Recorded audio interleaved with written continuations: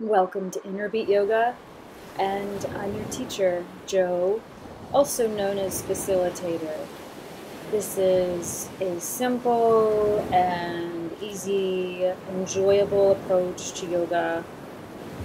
Carve your own path, find your own way, activate some freedom in your life. When do you get to move how you want to move? Certainly not when you're in your car or at a board meeting or um, at some function for your children. Any or all the above. So as you can see, these are my um, decisions that I'm making. I'm determining this is what I need. I'm going to share with you as usual, as I do with all my other classes, where that compass is for me and hopefully encourage you to get moving with me too.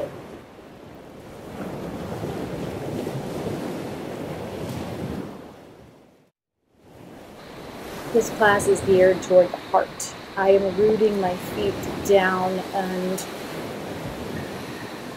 moving naturally. Breathe naturally with me. Uh, that means allowing your body to speak volumes by giving up some control because as we know, control is really just a perception in the mind um, that we've conceived with the hope of being able to determine outcomes. When really what we want is to be able to control um, our own lives upon ourselves. And the way that we can really start to gain that sense of control is if we loosen the grip on the lead or the leash in our minds, between our willpower and the desire to have total control.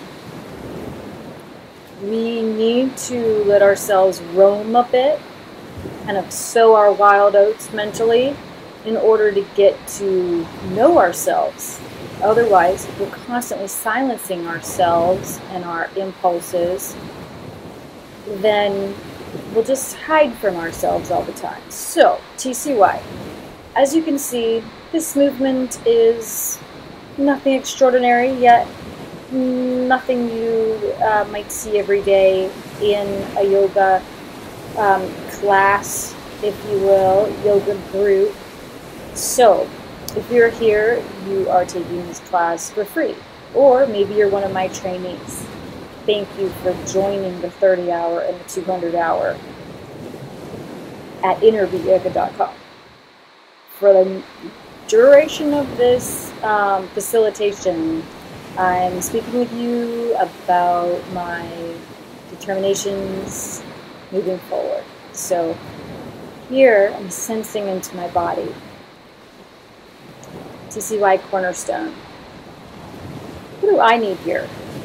So whereas arms are usually traditionally out to a T, the same line as the shoulders, palms down, maybe you might determine that you need to explore what it's like to have your palms turning up. Or maybe you need to have them down right now. So determining our needs, meeting our needs. And then finding a way to self-soothe after we've met that need because ironically, it's such a change for us to start to listen and actually meet the demands of our bodies as we have them.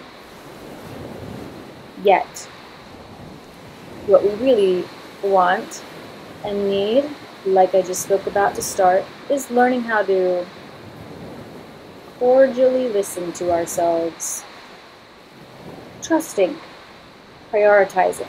So here, there's no rush, nor rhyme or reason.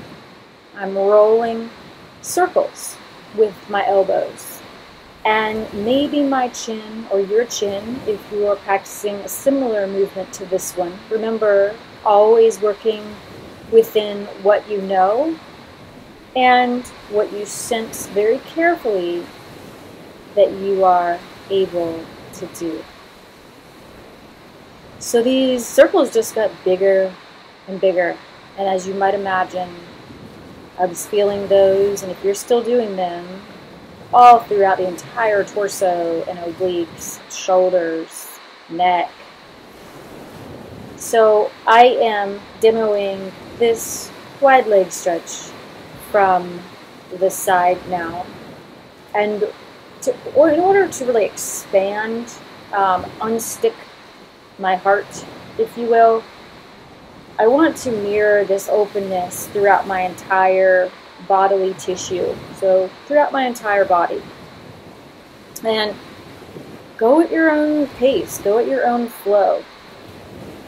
Really, allow yourself to have some fun. Responsible fun, but fun nonetheless.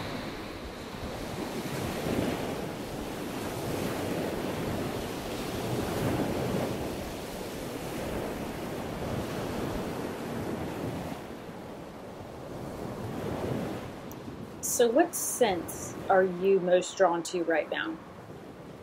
Feeling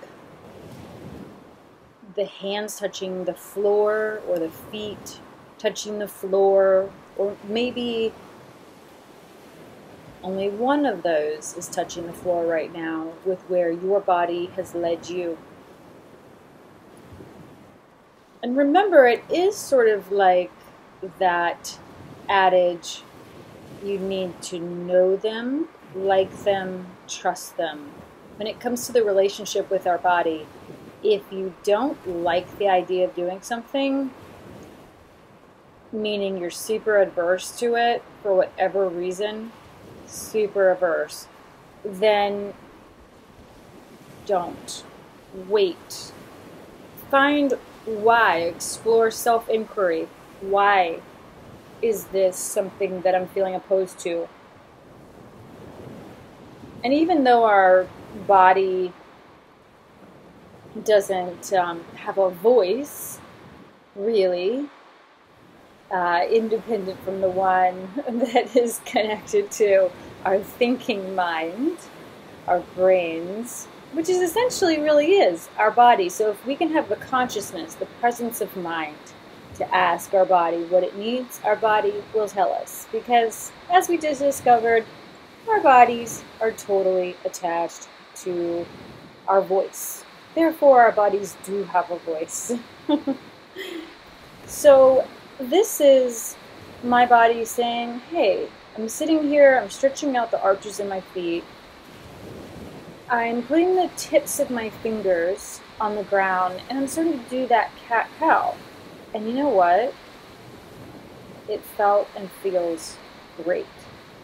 So I'm tapping out the tops of my legs there from knee to toe, so the shin, and that helps to just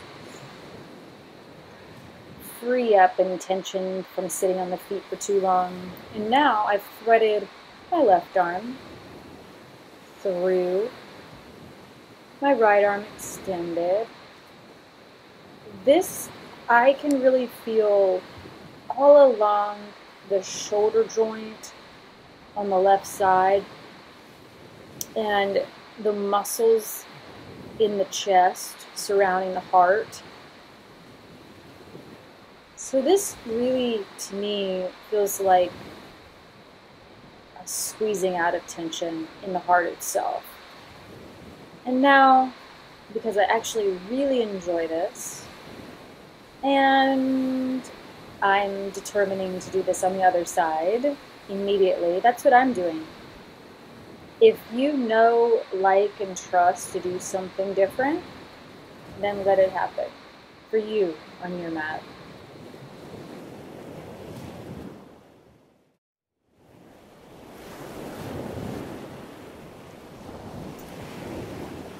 The exploration of cat and cow is evolving as I allow circular motions to range from navel downward there.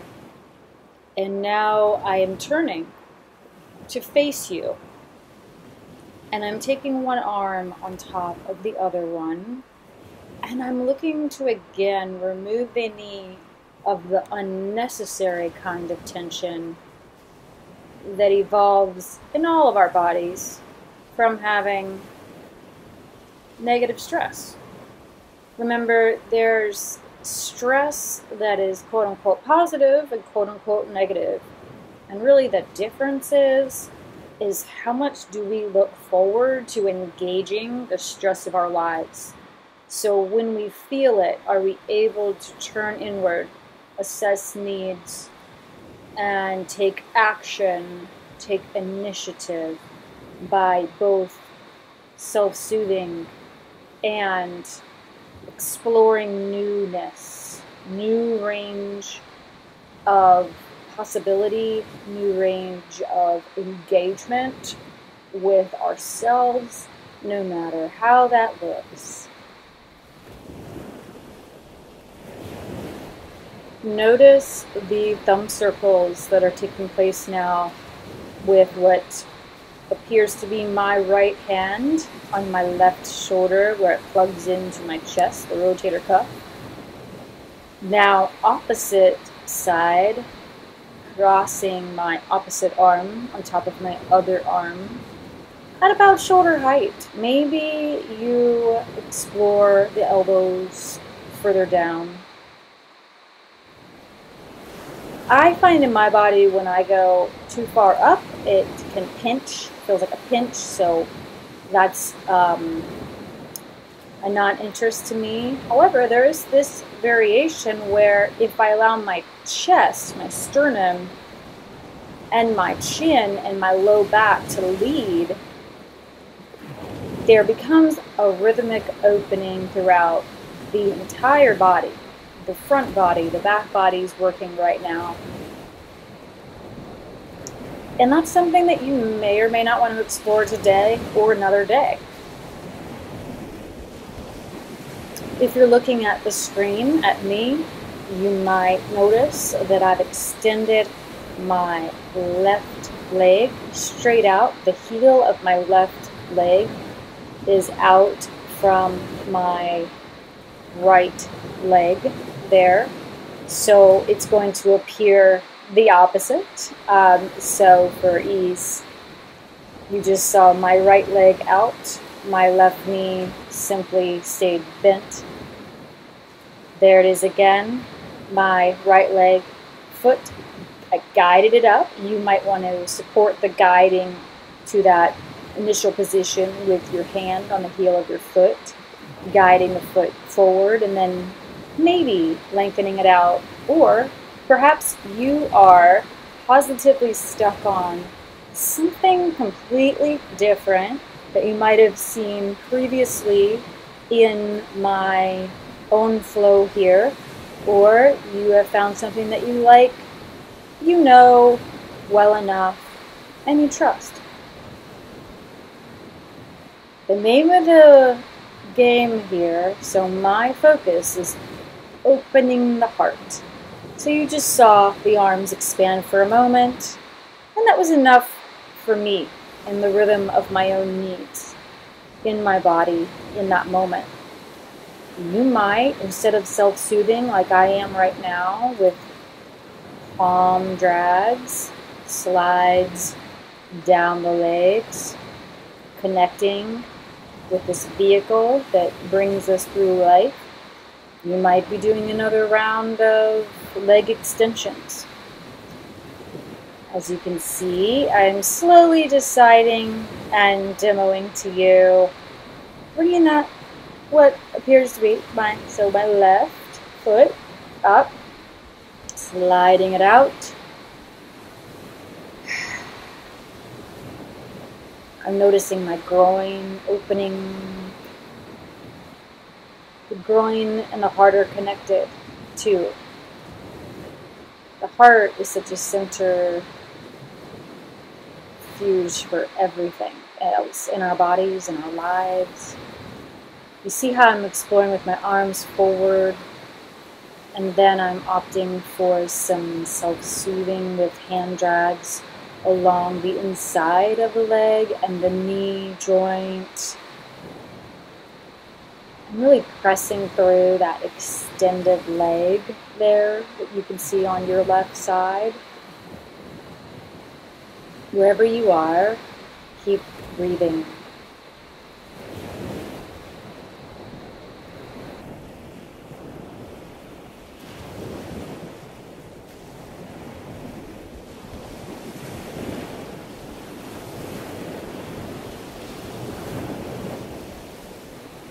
As you can see, I'm taking my thumb of my left hand there and placing it into that socket, that area where my arm connects into my chest.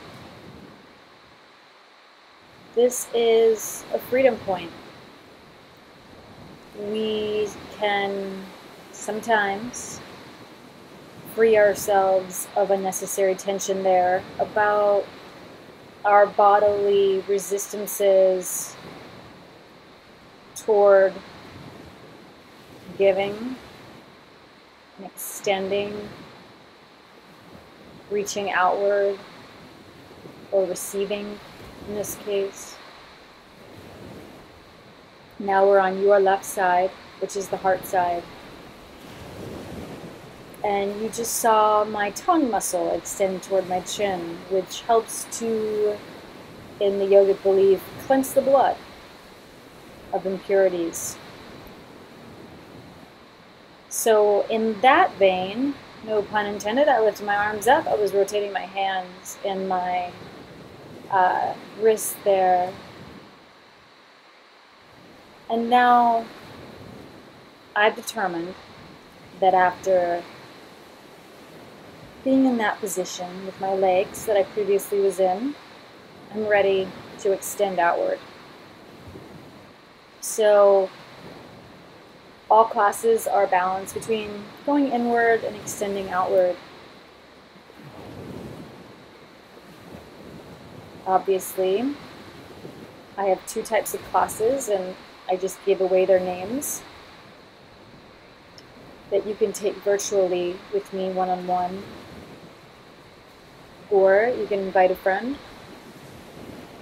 um, or your whole family. so I'm demoing from the side here, and hopefully you're still enjoying the ocean sounds. And I'm supporting my back muscles and my chest opening. And I'm taking peace fingers to my big toe on my left side as I reach my right arm over. So you might be somewhere totally different, some ground I've covered, or some ground you need to cover. And that is wonderful, fantastic. Soothing ourselves with our own self acceptance of what we need and I say we because we're in this together. However, in the confines of our mat, our yoga mat, we're talking about you. We're talking about that inner relationship of asking and listening. I'm self soothing here. I hike a lot. So for me, there's days where I need a lot more of it. And there's no shame in that because I'm still putting in the work. First and foremost, I'm listening.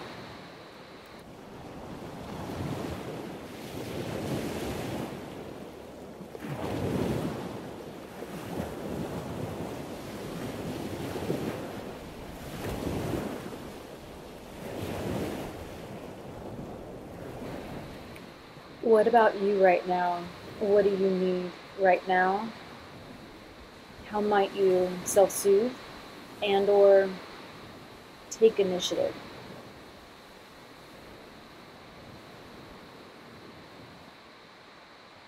You might need to take a new path in your expression in your body.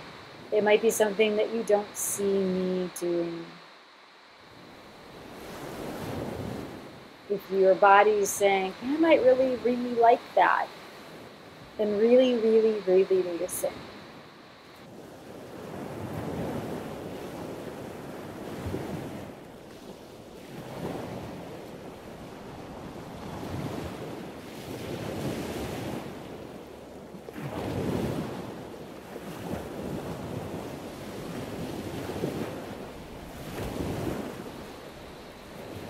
Repetition can be very soothing. So I've revisited this position I've stayed here. Right now, having that hand on the back of my head, you might want to stay there longer and see what that feels like. It really relieved and anchored a sense of connection from tail to the top of my head.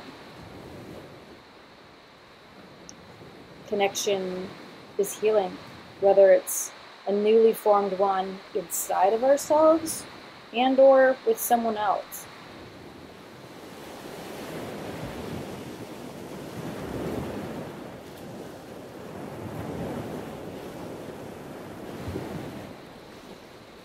So I'm centering myself in the middle of what I've designed to be my mat. And I am shaking out my legs. Uh, you might pull your toes back to flex your feet, or you might stay with your legs just without any tension in them produced by effort. So I'm simply turning turning around so that I may do the other side facing a new direction changing my perspective.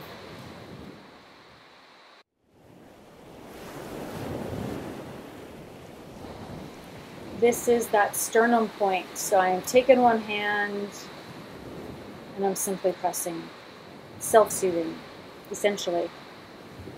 Now, on this side, I'm talking less because I've already guided you through quite a lot and we're going to mirror what we practiced on the other side, on this side.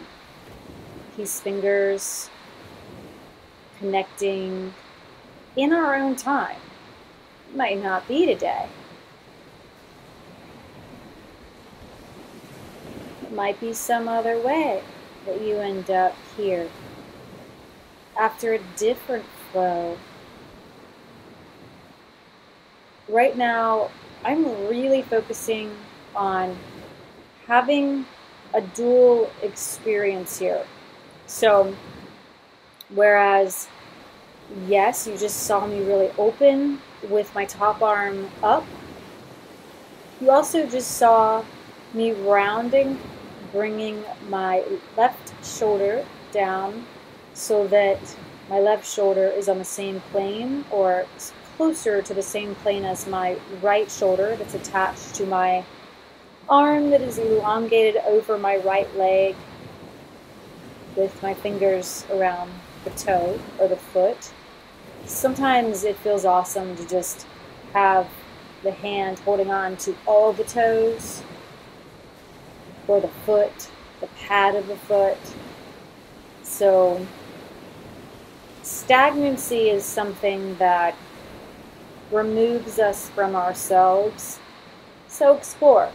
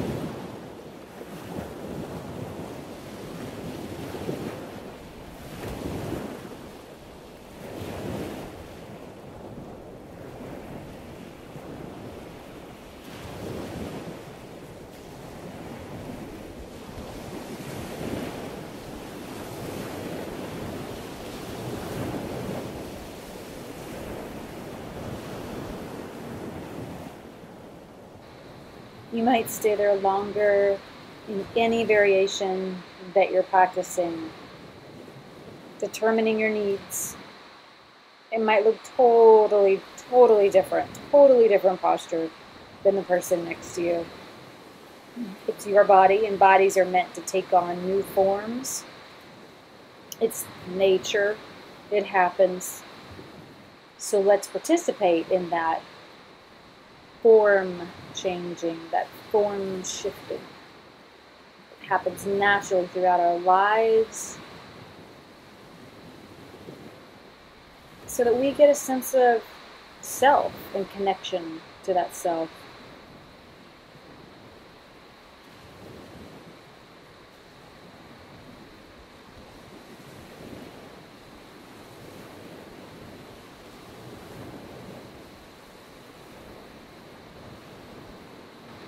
So I'm choosing to take a closed hand to self-soothe and tap that center of the sternum that helps to relieve any sensations that might be inhibiting me from being fully present with creating a new connection to my body right now, one that is of presence making, needs and nurturing. Because let's face it, we live lives where that's not possible to do every minute of the day.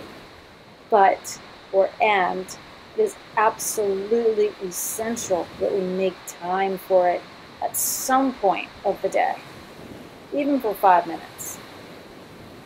Every hour, or five minutes. Beginning of the day, middle of the day, end of the day.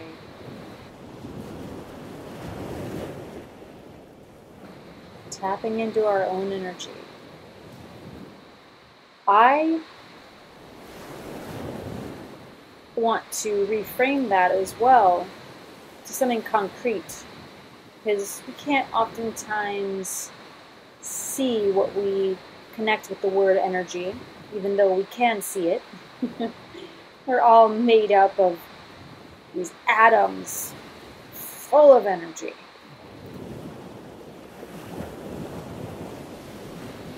So, another way to think of it is that we really benefit from taking time to experience ourselves outside of our roles that we play professionally and personally, we need to know how everything's feeling and functioning before things get out of hand. So, this is the best preventative self care that we can do. This slowing down, self inquiry that leads to self determination on the mat that we do in TCY and that we learn about in our 30 hour and 200 hour yoga teacher trainings for both uncertified and already certified yoga teacher and facilitators.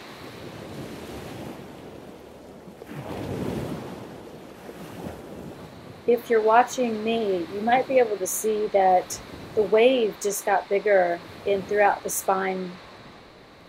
Started with flattening my low back and lifting the buttocks up, and then placing the buttocks back down and allowing that natural arch to occur in the low back. And then repeating that several times before starting to slowly increase the amount of liftoff from the pelvis.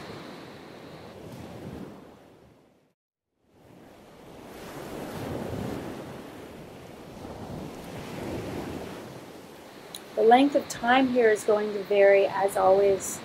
You might need to shift out later or before I do in my own practice. Remember, if you like it, you know it, feels good, trust it, stay with it.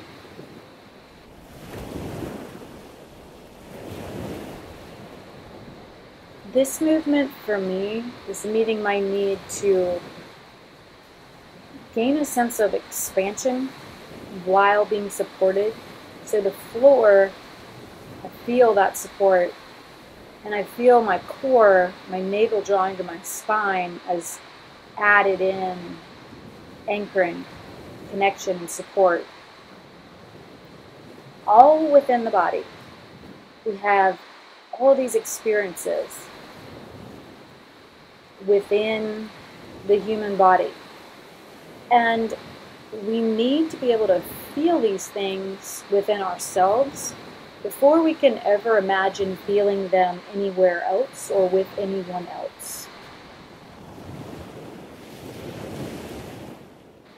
The TCY mat practice with myself and Inner Beat Yoga is the stomping grounds, if you will, to start to facilitate these inner sensations within yourself on your own time, with your own evolution, by sensing your own needs.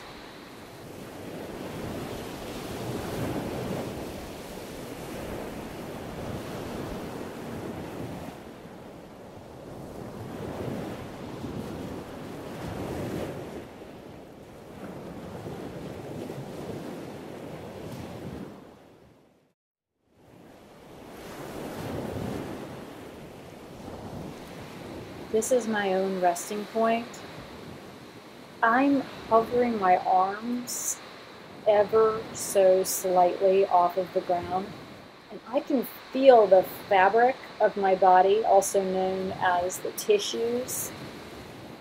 So we have a big sheet of tissues entwining our whole body from head to toe, and this feels delicious for me Whereas that's true for you, it might land differently. So we in TCY we want to move slowly to discover our answers so that the transition between where we think we want to go, where we like to go, where we know we want to go, and between where we actually need to go are safe and secure and supportive of what we really need.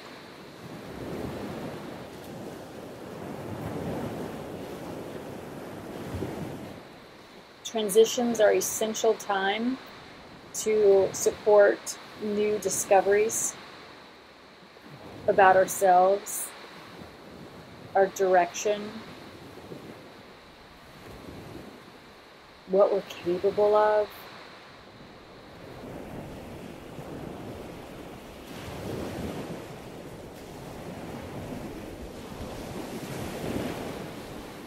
So these rock outs here that you can see if you're watching me, if you're not watching me, that's also equally as awesome. Anyway, they really support getting into the nooks and crannies of the body that we think are just quote unquote how they are. They'll always be that way. Whereas the gentle rock outs help to dislodge the old stuff from the tissues in the body.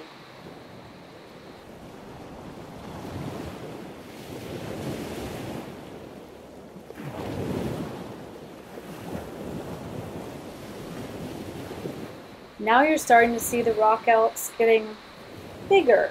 And that's by my own determination of my own needs and my own experiences, what I like, what I know, what I trust. Here we can build trust, although we still need to move incrementally, slowly inching toward new discoveries. Sometimes watching first, becoming accustomed by observing, can be a great way to learn. One universal truth in that position, if you're still rocking out, is always looking at our navel, always keeping the back of our neck elongated. So if we're looking at our navel point and our stomach, naturally the back of the neck is going to be elongated to protect that sensing part of the brain that is the brain stem.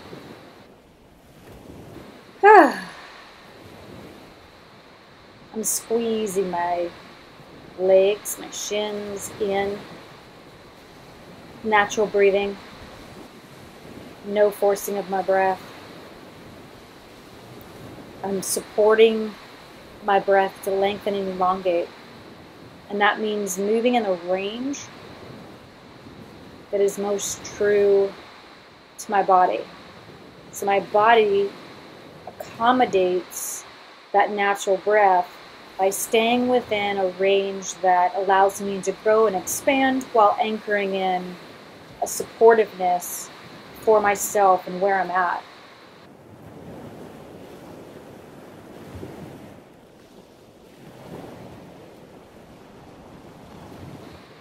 Here I'm placing my hand to my low back.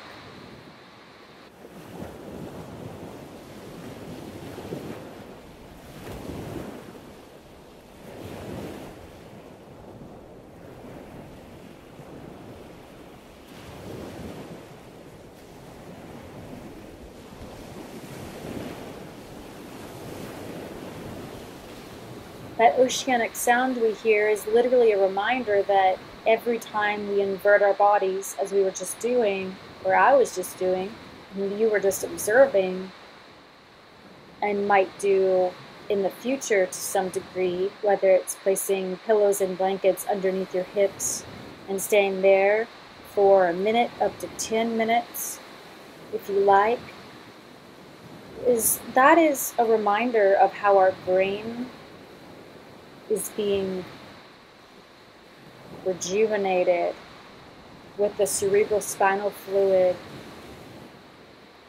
helping to highlight the brain centers, bathe the brain, creating more flexibility and nourishment of our spinal cord and our brains long term.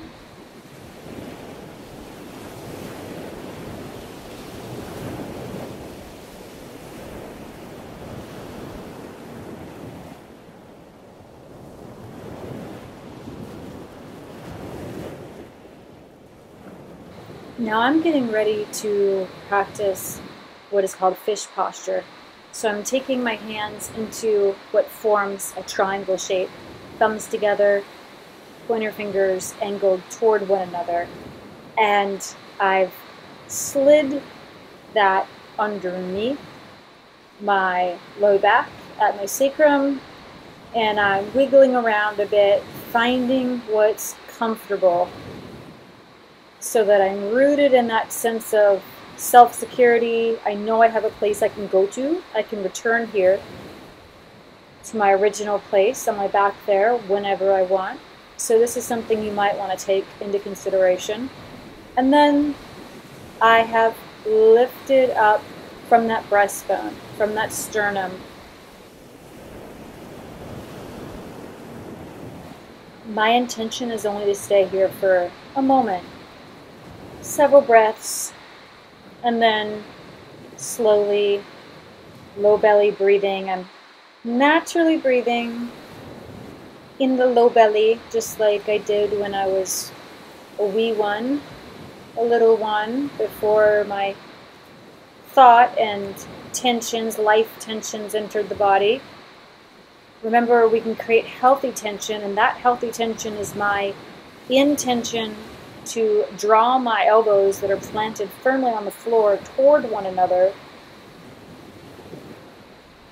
and pressing them into the floor while drawing them toward one another. Legs pressing toward one another. That's another option that you can determine what works best for you and your body. To what level does one need to accentuate that squeezing of the legs or that sense of suppleness and softening throughout the legs.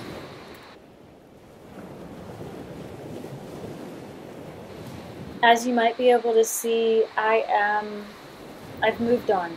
I'm doing big arm circles. Head is, for the most part, resting on the floor. My low back is just ever so slightly elevated off of the floor. And my heels might be forward from my knees as they were, or they might be completely off the ground. In your own body, there's ways to determine what you need, and that number one way is to sense, first and foremost, sense what is happening in your body, what is transpiring in your own body.